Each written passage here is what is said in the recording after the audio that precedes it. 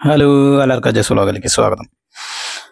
നമ്മുടെ ഏഴാൾക്കുള്ള കൈത്തീറ്റ അത് ഏകദേശം ഒരു രണ്ടര കിലോ ചോളത്തവിട് സ്പാക്ക് എന്ന് പറയുന്ന സാധനം കേട്ടോ രണ്ടര കിലോ രണ്ട് കിലോനും രണ്ടര കിലോനും ഇടയിലാണ് നമ്മൾ എടുത്തിരിക്കുന്നത്. അതായത് നാൽപ്പത് കിലോന്റെ ചാക്ക് എടുത്തു കഴിഞ്ഞാൽ കഷ്ടി നമ്മളൊരു പതിനഞ്ച് ദിവസം അത് ഓടിപ്പിക്കും. അതായത് മാസത്തിൽ നമ്മളിപ്പോൾ രണ്ട് ചാക്ക് തവിടാണ് നാൽപ്പത് കിലോന്റെ സ്പാക്ക് ചോളത്തവിട്. രണ്ട് ചാക്കാണ് നമ്മൾ എടുക്കുന്നത്. അത് ഏകദേശം തൊള്ളായിരം രൂപയാണ് ഇപ്പോൾ വില വരുന്നത്. ഇനി വേനൽക്കാലാകുമ്പോൾ സ്വല്പം കൂടെയൊക്കെ കൂടാം. അപ്പോൾ അഞ്ചാൾക്ക് ഇട്ടിട്ട് ബാക്കി രണ്ടാൾക്ക് മാറ്റി വയ്ക്കുന്നുണ്ട്. അപ്പോൾ മനസ്സിലായില്ലേ? രണ്ടര കിലോ കഷ്ടി ഗോ ചോളത്തവിടാണ് നമ്മൾ പോത്തിന് നനച്ച് വെച്ചിരിക്കുന്നത്. ഏറ്റവും കൂടുതൽ റിസൾട്ട് കിട്ടിയിരിക്കുന്ന ഒരു തീറ്റ എന്ന് വേണമെങ്കിൽ പറയാം കേട്ടോ എന്ന് വെച്ച് കഴിഞ്ഞാൽ നല്ല മാതിരി പക്ക റിസൾട്ടുള്ള ഒരു തീറ്റ എന്ന് പറയാം. ഞാൻ കൂടുതലും പോത്തിന് രണ്ടാൾക്കുള്ള മാറ്റി വെച്ചിട്ടുണ്ട് കേട്ടോ ഞാൻ കൂടുതലും പോത്തിന് കൊടുത്തിട്ടുള്ളതും നല്ലമാതിരി നല്ല മാതിരി കൊടുത്തുകൊണ്ടിരിക്കുന്ന ഒരു തീറ്റ എന്ന് പറയുന്നത് സ്പാക്ക് എന്നറിയപ്പെടുന്ന ചോളത്തോടാണ് പരുത്തി പിണ്ണാക്ക് ഞാൻ വീഡിയോ ചെയ്തിട്ടുണ്ട്. അതുപോലെ തന്നെ കപ്പലിന്റെ പിണ്ണാക്കിന്റെ വീഡിയോ ചെയ്തിട്ടുണ്ട്. തേങ്ങ പിണ്ണാക്കിന്റെ വീഡിയോ ചെയ്തിട്ടുണ്ട്. പരുത്തി പിണ്ണാക്ക് നമ്മൾ ഉപയോഗിക്കാറുണ്ട്. അത് കൂടുതലും നമ്മൾ ഉപയോഗിക്കാറുള്ളത് വേനൽക്കാലത്താണ്. ഞാൻ വീഡിയോ ചെയ്യാൻ വേണ്ടി അങ്ങനെ നമ്മൾ അതിന്റെ തീറ്റകളൊക്കെ പരിചയപ്പെടുത്തി എന്നുള്ളത് ഞാൻ കൂടുതലും ഏറ്റവും കൂടുതൽ കൊടുത്തുകൊണ്ടിരിക്കുന്ന സംഭവം എന്താണെന്ന് ചോദിച്ചു കഴിഞ്ഞ് കഴിഞ്ഞാൽ പരുത്തിപ്പിണ്ണാക്ക് മാത്രമല്ല. ഞാൻ ഏറ്റവും കൂടുതൽ കൊടുക്കുന്ന തീറ്റ എന്ന് പറയുന്നത് ചോളത്തവിടാണ്. ഈ ചോളത്തവിട് അവർക്ക് കൊടുത്തു കഴിഞ്ഞാൽ അതിന്റെ പരാക്രമം കാണിക്കുന്നത് നമുക്ക് ലാസ്റ്റ് വീഡിയോയിൽ കാണാം. അതേമാതിരി വട്ടയ സാധനങ്ങളൊക്കെ നല്ല മാതിരി അവർ ക്ലീൻ ആക്കിയിട്ടാണ് തിന്നുന്നത്. നമ്മുടെ അഞ്ചാൾക്കും നമ്മൾ തീറ്റ വെച്ച് കൊടുത്തിട്ടുണ്ട്. അപ്പം അഞ്ചാളെയും നമ്മൾ പുറത്ത് കൊടുന്ന് കെട്ടി കുറച്ച് ചോറും ഏകദേശം ഒരു രണ്ടര കിലോ തവിട് നനച്ച് വെച്ചതും കൂടിയിട്ട് നമ്മൾ ഇട്ട് കൊടുത്തേക്കാണ്.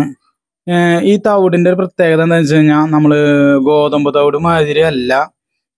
ഗോതമ്പ് തവിട് മാതിരി അല്ല എന്ന് പറയാൻ കാരണം എന്താണെന്ന് വെച്ച് കഴിഞ്ഞാൽ ഗോതമ്പ് തവിട് നമുക്ക് രണ്ടര കിലോ കുതിർത്തി കഴിഞ്ഞാൽ വലിയ കാര്യമൊന്നും ആവില്ല. പക്ഷെ ഞാൻ ആ ഫസ്റ്റ് കാണിച്ച ബക്കറ്റിൽ കണ്ടില്ല നിങ്ങൾ ഇരുപത് ലിറ്ററിന്റെ ബക്കറ്റിൽ ഇരുപത് ലിറ്ററിന്റെ പെയിന്റ് ബക്കറ്റിൽ ഏകദേശം രണ്ടര കിലോ തവിട് എന്ന് പറയുമ്പോൾ ഏകദേശം അതിന്റെ ഒരു അര ഭാഗത്തിൽ തൊട്ട് താഴെ അതായത് അടിഭാഗം വീതി കുറവാണ്. അതുകൊണ്ട് തന്നെ അര ഭാഗത്തിൽ തൊട്ട് താഴെയുള്ളൂ. അത് കഴിഞ്ഞാൽ ഒരു പത്ത് പതിനഞ്ച് ലിറ്റർ പച്ചവെള്ളമോ അല്ലെങ്കിൽ കഞ്ഞിവെള്ളമോ അങ്ങനെ ഒഴിച്ചു കഴിഞ്ഞ് കഴിഞ്ഞാൽ ആ സാധനം നിറയും. ഓൾറെഡി ആ സാധനം അറിയും പക്ഷേ നമ്മളൊരു രണ്ട് മൂന്ന് നാല് മണിക്കൂർ കഴിഞ്ഞിട്ട് എടുത്തപ്പോൾ അതിന്റെ ഉള്ളിലത്തെ അവസ്ഥ കണ്ടില്ല? ഇങ്ങനെ നല്ല സാധനങ്ങളൊക്കെ ഇങ്ങനെ പ്ലാസ്റ്റിക് മറ്റു സാധനങ്ങളൊക്കെ ഇങ്ങനെ വീർത്ത് നല്ലൊരു ക്വാണ്ടിറ്റി അതിൽ എത്തിയത്. അതായത് ഇപ്പം എന്നാൽ അത് കൊടുത്താലത്തെ ഒരു പ്രത്യേകത എനിക്ക് തോന്നിച്ചിട്ടുള്ളത് കൂടുതലും നല്ല മാതിരി വയറും നിറയും. അത് മാത്രമല്ല നല്ല റിസൾട്ടും ഉണ്ട്. ഞാൻ പറഞ്ഞല്ലോ ഞാൻ എന്റെ ഈ പ്രാവശ്യത്തെ പോത്തിന് ഏറ്റവും കൂടുതൽ കൊടുത്തിരിക്കുന്ന തീറ്റ എന്ന് പറയുന്നത് ഈ ചോളത്തോട് എന്ന് പറയുന്ന സ്പാക്ക് എന്ന് പറയുന്ന തീറ്റയാണ്. അപ്പോൾ ഈ ചോളത്തോടിന്റെ പ്രത്യേകത എന്ന് വെച്ച് കഴിഞ്ഞാൽ നല്ല റിസൾട്ടാണ് അതുമാതിരി തന്നെ രണ്ട് മൂന്നാൽ മണിക്കൂർ വെള്ളം കുതിർത്തി വെച്ച് കഴിഞ്ഞാൽ അത്യാവശ്യം ക്വാണ്ടിറ്റി ആവും. പക്ഷെ ഇതിന്റെ ഒരു കുഴപ്പം എന്താ വെച്ചാൽ കഴിഞ്ഞാൽ സ്റ്റാർട്ടിങ്ങിലെ പൂത്തുകളൊന്നും ഇത് തിന്നില്ല. എന്ന് ചോളം ഇതിൽ ചോളത്തിന്റെ തരിതരി ഉണ്ട് കേട്ടോ അത് നിങ്ങൾ ഞാൻ ആ ഫസ്റ്റ് എടുത്ത് പൊന്തിച്ചപ്പോൾ നിങ്ങൾക്ക് നോക്കിയാൽ കാണാൻ മനസ്സിലാക്കാം. അതിൽ ചോളത്തിന്റെ തരിതരി ഉണ്ട്. അതുകൊണ്ട് തന്നെ ഈ സാധനം വീർക്കുമ്പോൾ അത്യാവശ്യം സാധനം ഉണ്ടാവും. പക്ഷേ ഈ സാധനം അത് പ്രത്യേകത എന്ന് വെച്ചാൽ ഇതിനൊരു പച്ചക്കുത്തുമാതിരി സ്റ്റാർട്ടിങ്ങിൽ ഉണ്ടാവും അത് ഏതൊരു തീറ്റയും പോത്തിന് ഫസ്റ്റിൽ കൊടുക്കുമ്പോൾ ഫസ്റ്റിൽ കൊടുക്കുമ്പോൾ ഏതൊരു തീറ്റയും പോത്തിന് ഫസ്റ്റിൽ കൊടുക്കുമ്പോൾ ആ തീറ്റ പോത്ത് തിന്നാനുള്ള സാധ്യത വളരെ കുറവാണ്. കാരണം വേറെ ഒന്നല്ല ഏതൊരു തീറ്റയും പോത്ത് സ്റ്റാർട്ടിങ്ങിൽ ഫസ്റ്റ് ടൈമിൽ നമ്മൾ വെച്ച് കൊടുക്കുമ്പോൾ എന്ത് തീറ്റയായാലും പരുത്തി പിണ്ണാക്കോ ചോളത്തോടോ അല്ലെങ്കിൽ പ്രത്യേകിച്ച് തേങ്ങ പിണ്ണാക്കോ ഈ സാധനങ്ങളൊന്നും പോത്ത് തിന്നില്ല. ചിലപ്പോൾ ശൂരടിച്ച് അങ്ങനെ മാറി മാറി നിൽക്കുമല്ലോ അതുപോലെ തന്നെ എനിക്കും അങ്ങനത്തെ ഒരു ബുദ്ധിമുട്ടുണ്ടായിരുന്നു ആദ്യ നാളുകളിൽ ഞാൻ ഗോതമ്പ് തവിട് സാധനങ്ങളൊക്കെ വെച്ച് കൊടുത്തിട്ട് പിന്നെ സ്പാക്ക് ആയിട്ട് തീരുമാനം മാറ്റിയപ്പോൾ സ്പാക്ക് കഴിക്കാത്തൊരവസ്ഥയുണ്ടായിരുന്നു. അപ്പോൾ ഞാൻ ചെയ്തിരുന്നത് എന്താണെന്ന് വെച്ച് കഴിഞ്ഞാൽ നിങ്ങൾക്ക് ചെയ്യാൻ പറ്റുന്ന ഒരു എന്ന് വെച്ച് കഴിഞ്ഞാൽ പോത്ത് വെള്ളം കുടിക്കാനും പോത്ത് കൈത്തീറ്റ എടുത്ത് തുടങ്ങാനും പറ്റിയ ഏറ്റവും നല്ല തീറ്റ ഏതാണെന്ന് ചോദിച്ചു കഴിഞ്ഞാൽ ഞാൻ പറയും ഗോതമ്പ് തവിടാണ്. ഗോതമ്പ് തവിടിന് ഒരു മധുരവും കാര്യങ്ങളും. നമ്മൾ തന്നെ ജസ്റ്റ് ഏതാ തവിടൊന്ന് വായിലിട്ട് വെച്ച് ആക്കി കഴിഞ്ഞ് കഴിഞ്ഞാൽ അതൊരു ഒരു ലേശം മധുരമുള്ള മാതിരിയാണ്. അത് മാത്രമല്ല ആ സാധനം ഒന്ന് വെള്ളത്തിൽ കുതിർത്തി പിഴിഞ്ഞു കഴിഞ്ഞു കഴിഞ്ഞാൽ നമ്മൾ തേങ്ങാപ്പാലിന്റെ ഒരു കളർ അല്ലെങ്കിൽ ഒരു പശുമ്പാലിന്റെ ഒരു കളറിലേക്കൊക്കെ ആ സാധനം ഒരു നല്ലൊരു നമുക്ക് കൂടുതൽ ഇവിടെ ലൈറ്റിന്റെ ഗോതമ്പ് തവിടാണ് കിട്ടാറ്. അത് ലൈറ്റിന്റെ ഗോതമ്പ് തവിട് മുപ്പത്തിനാല് കിലോന്റെ ഉമിത്തവിട് അമ്പത് കിലോന്റെ പൊടിത്തവിടാണ്. അതും കുഴപ്പമില്ല. പക്ഷെ അതിനെ അപേക്ഷിച്ച് നോക്കുമ്പോൾ ഞാൻ പറഞ്ഞല്ലോ നമ്മൾ ഈ സാധനം ഒരു രണ്ടര കിലോ അല്ലെങ്കിൽ രണ്ട് കിലോന്റെ മേലേക്ക് ബക്കറ്റിലിട്ട് വന്നിച്ചപ്പോൾ അത്രയും ക്വാളിറ്റി അതെ ക്വാളിറ്റി അല്ല സോറി ക്വാണ്ടിറ്റി കിട്ടി. ആ സമയത്ത് ഗോതമ്പ് തവിട് അങ്ങനെ നനച്ച് വെച്ച് കഴിഞ്ഞാൽ അത്രയ്ക്ക് ക്വാണ്ടിറ്റി കിട്ടില്ല കേട്ടോ. പിന്നെ ഇതിൽ ചോളവും കൂടിയുള്ള കാരണം നല്ലൊരു ഇതാണ്. പക്ഷെ എനിക്ക് നല്ലൊരു റിസൾട്ട് കിട്ടിയിട്ടുണ്ട് അപ്പോൾ ഞാൻ ആദ്യ നാളുകളിൽ ഇവർ കഴിക്കാണ്ടായപ്പോൾ ഞാൻ എന്നിട്ട് ചെയ്തിരുന്നത് വെച്ച് കഴിഞ്ഞാൽ ചോളത്തവിടിന്റെ മുകളിൽ കൂടെ ചോറ് ലാശം ഉണ്ടാവും അത് നമ്മൾ ഇട്ട് കണ്ടമാനം ചോറൊന്നും ഇല്ല കേട്ടോ. ചോറ് നമ്മൾ കാശ് കൊടുത്ത് വാങ്ങിക്കുന്നത് അല്ല അരി. നമുക്ക് അരി വേവിക്കാനുള്ള ഒരു ചിലവ് മാത്രമേ ഉള്ളൂ. അത് ഞാൻ ഗ്യാസ് മേലാണ് വേവിക്കുന്നത് അതിന്റെ ഒരു ചിലവ് വരുന്നുണ്ട്. അപ്പോൾ നമ്മൾ ചോറും ചോളത്തോടും കൂടി കൂട്ടി മിക്സ് ചെയ്ത് ലേശം ഗോതമ്പ് തോട് അതിന്റെ മുകളിൽ വിതറും. ആദ്യം ഗോതമ്പ് തോട് ലേശം മുകളിൽ വിതറി കഴിഞ്ഞാൽ അവർക്ക് കഴിക്കാൻ ഒരു ഇൻട്രസ്റ്റ് ഉണ്ടായിരുന്നു. ഞാൻ ആദ്യം കുടന്ന ഒഴിക്കുന്ന പൂത്തിന് കൊടുത്തിരുന്നതെന്ന് വെച്ച് കഴിഞ്ഞാൽ അവരൊന്നും കൈത്തീറ്റ് തന്നെ ലേശം ബാക്കിലേക്ക് ആയിരുന്നു അപ്പോൾ ലേശം കഞ്ഞിവെള്ളം ലേശം ചോളത്തോട് ഇട്ടിട്ട് നല്ല മാതിരി വെള്ളമായിട്ട് ലൂസായിട്ട് അതായത് ആ ഒരു കഞ്ഞിവെള്ളം വലിച്ചു കുടിക്കുന്ന ഒരു കണ്ടീഷനിലാണ് ആദ്യം കൈത്തീര് കൊടുത്തു തുടങ്ങിയിരുന്നത്.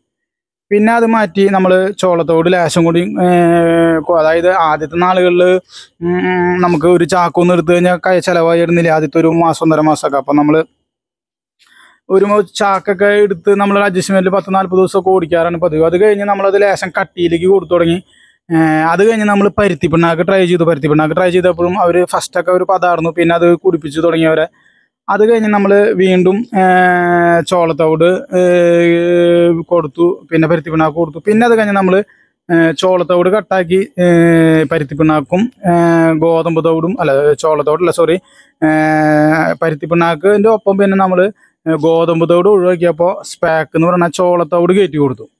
അതായത് ഗോതമ്പ് തോട് കൊടുത്ത് സെറ്റാക്കിയതിന് ശേഷം ഗോതമ്പ് തോട് മാറ്റി ചോള ചോളത്തോട് അതായത് സ്പാക്ക് ഇട്ട് കൊടുത്തപ്പോൾ അവർ കഴിക്കാൻ ലേശം പാടായിരുന്നു. പക്ഷേ പരുത്തിപ്പിണ്ണാക്ക് കഴിച്ചാൽ ശീലമുള്ളത് കൊണ്ട് വീണ്ടും കഴിച്ചു തുടങ്ങിയാൽ നല്ലൊരു ലേശം തപ്പലായിരുന്നു.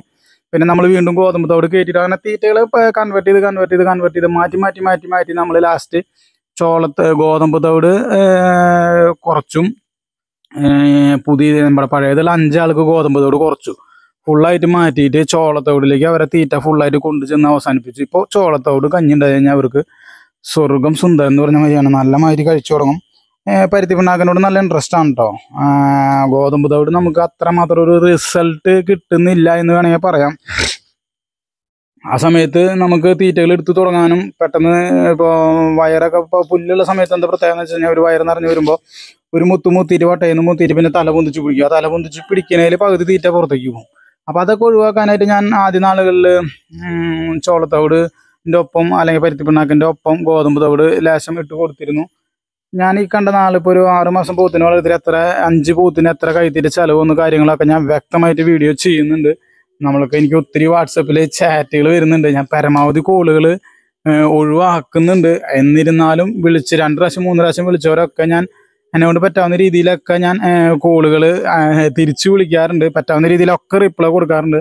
പരമാവധി എന്റെ ആളുകൾ എന്റെ ആളുകൾ മീൻസ് എന്റെ കർഷക സുഹൃത്തുക്കൾ വാട്സപ്പിൽ വരാൻ പ്രത്യേകം ശ്രദ്ധിക്കുക. നമ്പർ ആവശ്യമുള്ളവർ ജസ്റ്റ് ഒന്ന് ഞാൻ ഇനി എന്റെ ഡിസ്ക്രിപ്ഷനിൽ അല്ലെങ്കിൽ എന്റെ ചാനൽ ഐക്കണിൽ നമ്പർ കൂടി ആഡ് ചെയ്യാൻ ശ്രദ്ധിക്കാം. കേട്ടോ? അപ്പോൾ നമ്മുടെ ഒരു വീഡിയോ നാലാളുടെയും അഞ്ചാളുടെയും അവസ്ഥ കണ്ടില്ലേ? ഇതിൽ ഏതൊക്കെ പോത്തുകൾ ചെറുത് വലുതെന്നൊക്കെ കുറിച്ച് നമുക്ക് വ്യക്തമായിട്ട് പറയാം. അപ്പോൾ ഞാൻ ഒരു വീഡിയോ ചെയ്യാൻ കാരണം എന്ന് വെച്ച് കഴിഞ്ഞാൽ നിങ്ങളുടെ അവിടെയൊക്കെ നിങ്ങളൊന്ന് അന്വേഷിക്കണം. കുറേ ആളുകൾ എനിക്ക് ചേട്ടാ സ്പാക്ക് എന്താണ് ഗോതമ്പ് തോട് എന്താണെന്ന് വിവരിക്കുന്ന ഒരു വീഡിയോ ചെയ്യാൻ പറഞ്ഞിട്ടുണ്ടായിരുന്നു. അത് ഏതാ എന്നൊക്കെ കാണിച്ച് ഞാൻ ഒരു വീഡിയോ ചെയ്യാം. പക്ഷേ ഞാൻ ഇപ്പോൾ ഈ വീഡിയോ ചെയ്യാനുള്ള കാരണം എന്താണെന്ന് വെച്ച് കഴിഞ്ഞാൽ പ്രിയ കർഷക സുഹൃത്തുക്കളെ വേനൽക്കാലം വരാൻ പോവാണ്.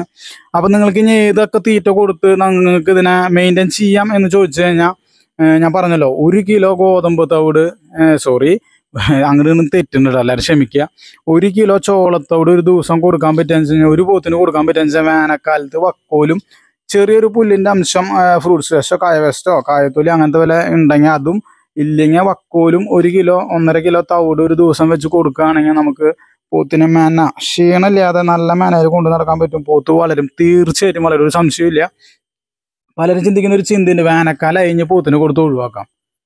വേനൽക്കാലം ആയ- എല്ലാവരും ചിന്തിക്കുന്ന ഒരു ചിന്തയാണ്. ഇനി പൂത്തിന് കൊടുത്ത് ഒഴിവാക്കാം. അങ്ങനെയുള്ളവരോട് ഞാൻ പറയുന്നു നിങ്ങൾക്ക് വീടുന്നെങ്കിലും കുറച്ച് അരി സാധനങ്ങളൊക്കെ കിട്ടുന്നുണ്ടെങ്കിൽ വെറുതെ കിട്ടുന്നുണ്ടെങ്കിൽ നിങ്ങൾക്ക് അത് ചെയ്യാം. ഇല്ലെങ്കിൽ ഒരു ഒന്നര കിലോ തവിട് നിങ്ങൾ ഒരു ദിവസം മാറ്റി നിങ്ങൾക്ക് ഒരു പോത്തിന് ഒരു ദിവസത്തെ തീറ്റ ചെലവ് കൈത്തീറ്റ ചെലവ് വരുന്ന ചെലവ് എത്രയാന്ന് പറഞ്ഞാൽ മാക്സിമം നാൽപ്പത് രൂപയാണ് ഒരു ദിവസത്തെ ചെലവ് വരുന്നത്. വേനൽക്കാലത്ത് പറ്റ വേനൽക്കാലത്ത് പിന്നെ നിങ്ങൾ അതിനെ ഒരു സ്ഥലത്തും കൊണ്ടുപോയി പോയി കെട്ടാൻ നിൽക്കണ്ട. നല്ല മാതിരി വക്കോലിട്ട് കൊടുക്കുക. വക്കോലിന് വേറെ ചിലവ് വരും കേട്ടോ എന്നാലും ഒരു എണ്ണത്തിന് മാക്സിമം ഒരു മൂന്ന് നാല് കെട്ട് വക്കോൽ ഒരാഴ്ചക്ക്. അതായത് ഒരു പതിനഞ്ച് കെട്ടിന് മേലെ എങ്ങനെ പോയാലും ഒരു മാസത്തെ വക്കോൽ ചിലവ് വരില്ല. പക്ഷേ പക്ഷെ പൂത്ത് വളരും. അന്തസ്സായിട്ട് വളരും. അപ്പോൾ ആരും പേടിക്കണ്ട. വേനൽക്കാലമായി എന്ന് വിചാരിച്ച് ടെൻഷൻ അടിക്കേണ്ട. അതാ കണ്ടില്ലേ? ഇവരെ പാത്രങ്ങളൊക്കെ ഇവരാക്കി വെച്ചാണ് കണ്ടില്ലേ? അപ്പോൾ ആരും ടെൻഷൻ അടിക്കാൻ നിൽക്കണ്ട. വേനൽക്കാലത്ത് പയറ്റാൻ പറ്റിയ നല്ല എക്സ്പീരിയൻസ് ആയിട്ടാണ് ഞാൻ പറയുന്നത്. എനിക്ക് നല്ല റിസൾട്ട് കിട്ടിയൊരു തീറ്റയാണ് ഞാൻ കൂടുതലും വേനൽക്കാലത്ത് പരുത്തി പിണ്ണാക്കാണ് ആശ്രയിക്കാറ്. പരുത്തി പിണ്ണാക്കിനേക്കാളും അത്യാവശ്യം തിരക്കിട്ടില്ലാത്ത ക്വാണ്ടിറ്റിയിലേക്ക് ഇത് വരുന്നുണ്ട് കേട്ടോ ഇത് വെള്ളം നനഞ്ഞ് വീർക്കുന്നതായിരിക്കാം വെള്ളം കുടിക്കുന്നതായിരിക്കും ഇതൊക്കെ ആയിക്കോട്ടെ. പക്ഷെ ഇത് തിന്നു കഴിഞ്ഞാൽ പൂത്തിന് മാതിരി വയറും വീർക്കുന്നുണ്ട് കൊടുത്തതിന്റെ ഒരു റിസൾട്ട് ഒരു ഒന്നൊന്നര മാസത്തിനുള്ളിൽ നല്ല മാതിരി കാണിച്ചും വരുന്നുണ്ട്. ക്വാണ്ടിറ്റി കൂട്ടുന്നതിനനുസരിച്ച് അതിന്റെ റിസൾട്ടും കാണുന്നുണ്ട്. അപ്പോൾ വീഡിയോ ഇഷ്ടമായി ലൈക്ക് ചെയ്യാൻ മറക്കണ്ട. സബ്സ്ക്രൈബ് ചെയ്യുമ്പോൾ നമുക്ക് ഓൾ ബട്ടൺ അമർത്തുക കമന്റ് ചെയ്യാനും മറക്കണ്ട.